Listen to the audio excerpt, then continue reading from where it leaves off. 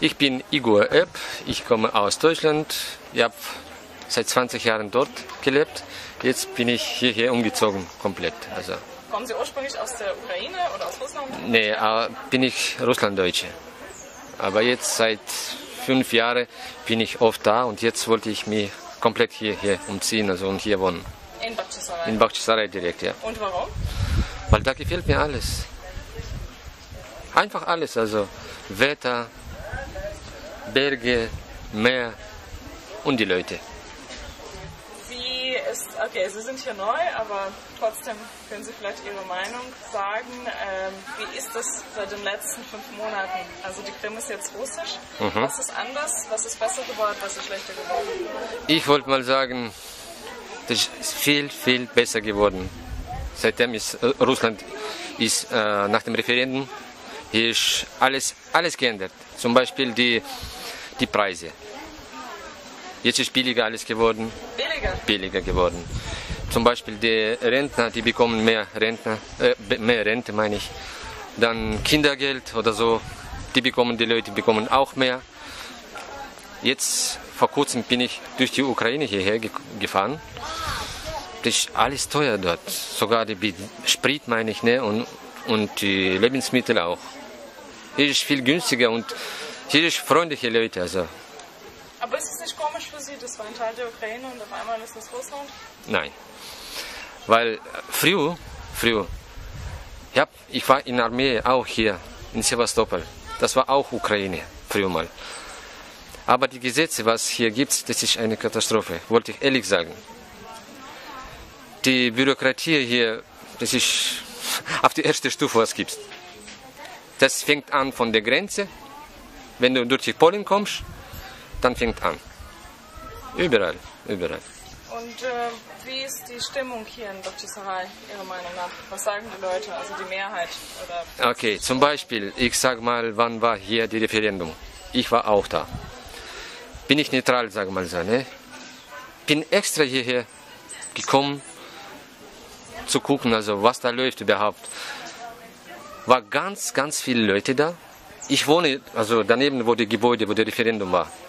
Bin extra, da war Regen, da war so ein, also so ein Wetter war, also Regen, ne? Regen und so weiter.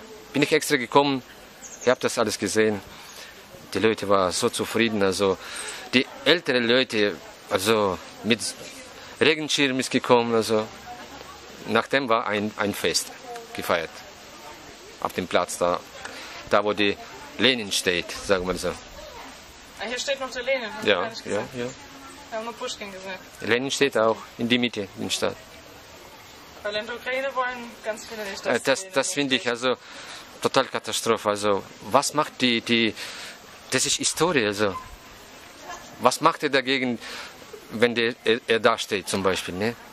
Zum Beispiel, das haben wir nicht wir gemacht oder nicht die ukrainischen Leute. Ich meine, das ist Historie, das ist von, von mehreren Jahren vor.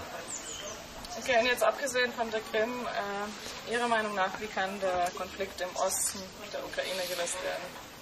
Meine Meinung ist das so, zum Beispiel, so wie in Italien war. Die wollen das auch teilen. Die haben ein Referendum gemacht, geteilt und leben in Freundschaft. Friedlich, ne?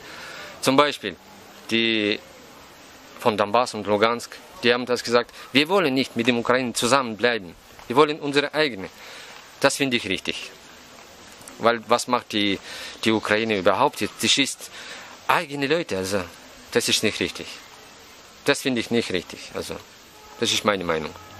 Und so wie ich also äh, per Internet mit meinen Freunden aus Deutschland also auch Gespräche führe, das ist genau das gleiche Meinung haben die. Und mehrere Leute wollen, wo- wollen schon von Deutschland irgendwo hier nach Krim oder nach Russland umziehen.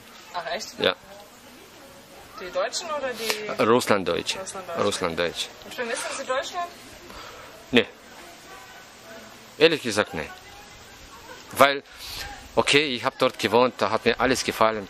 Plus, irgendwie, verstehen Sie, mir gefällt hier. Also, bin von Kasachstan, ist sehr warm, gutes Wetter war. Hier genauso. Zum Beispiel ist diese Zeit, sag mal, ja, Hamburg oder so, Jetzt ist also viel kälter als hier zum Beispiel. Ne?